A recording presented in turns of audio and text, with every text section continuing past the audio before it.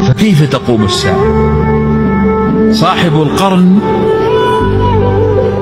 اللي هو اسمه إسرافيل واضع البوق في فمه منذ مبعث النبي صلى الله عليه وسلم ينتظر هذه اللحظة.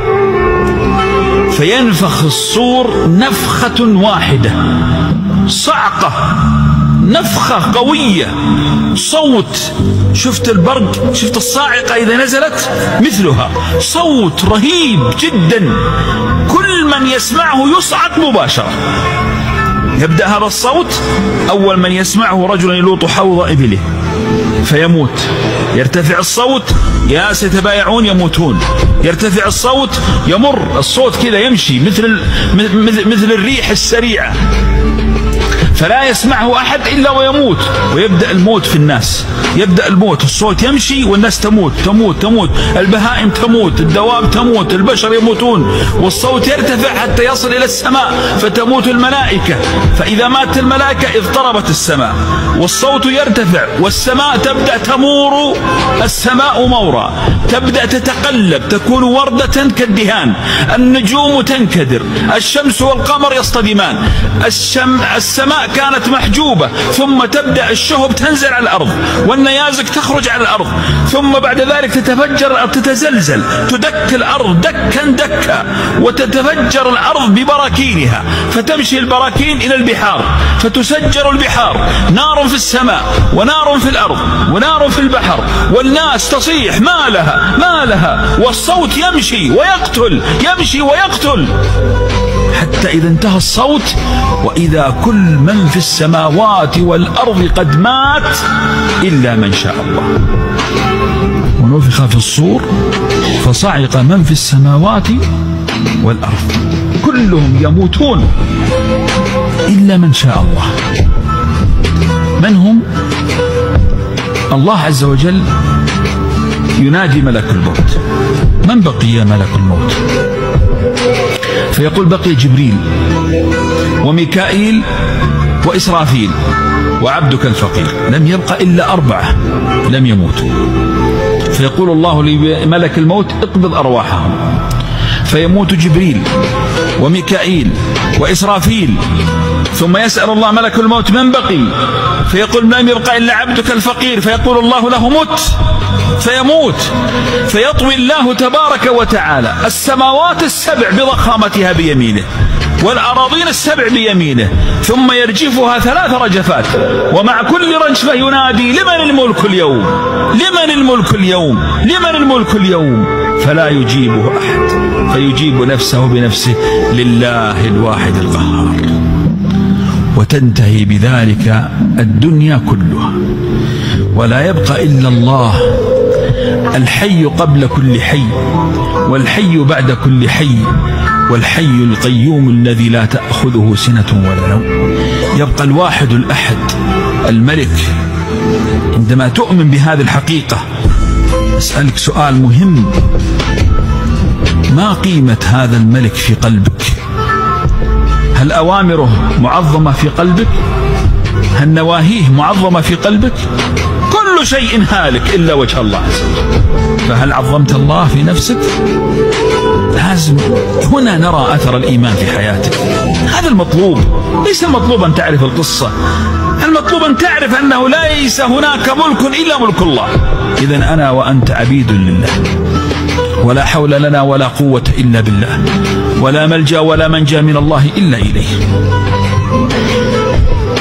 بعد أن تبدل الأرض غير الأرض وتبدل السماوات نحن كلنا موتى.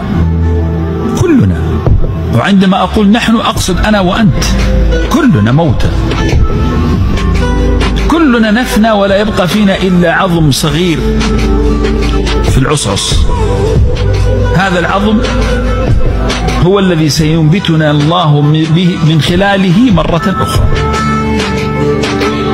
أجسادنا تفنى لكن أرواحنا لا تفنى أبدا. أنت تحمل في جسدك روح.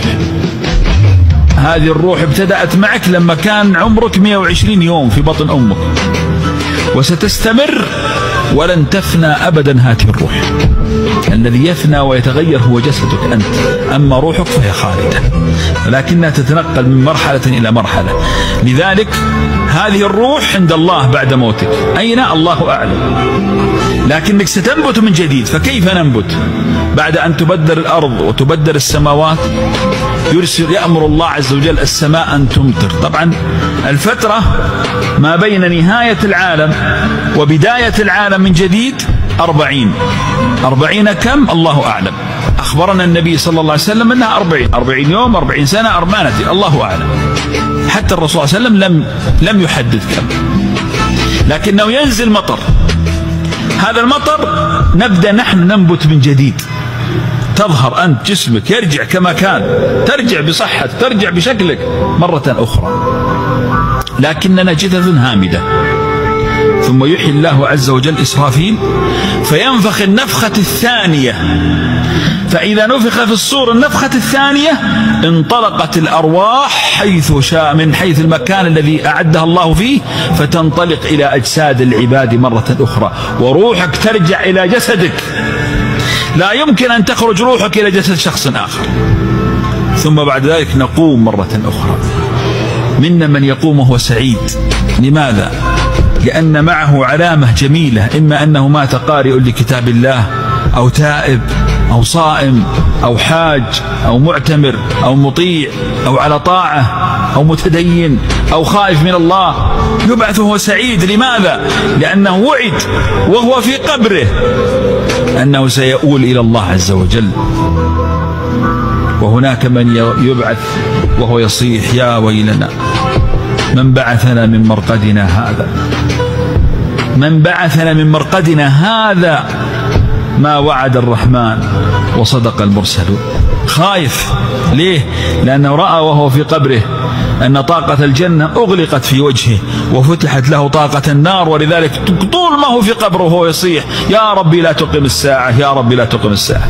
خائف مما هو مقبل عليه. يخرج الناس. كيف حالهم؟ حفاة عراة غرلا بهما حفاة بلا أحذية عراة بلا ألبسة. غرلا أي القطعة اللحم التي لما ختنت رميت ترجع مرة أخرى لدقة الحساب عند الله عز وجل. بهما مثل خلاص الأفئدة هواء يعني إنسان في رعب. وكيف لا يكون في رعب؟ لأنه رأى النار ورأى الجنة إذا كان في قبره. وإذا لم يكن ذلك الإنسان في قبره فهو قد رأى قيامة القيام أو نهاية الساعة القيامة وما حدث فيها من أهوال يعود الناس مرة أخرى. فكيف هي أحوالهم في ذلك اليوم؟ يوم طويل طوله خمسون ألف سنة كما قال الله جل جلاله.